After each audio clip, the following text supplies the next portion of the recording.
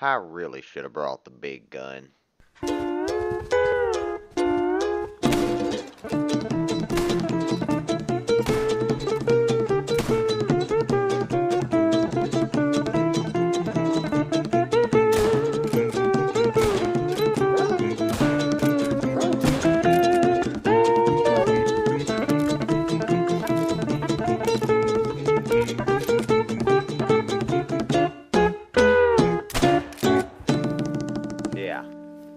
Jesus.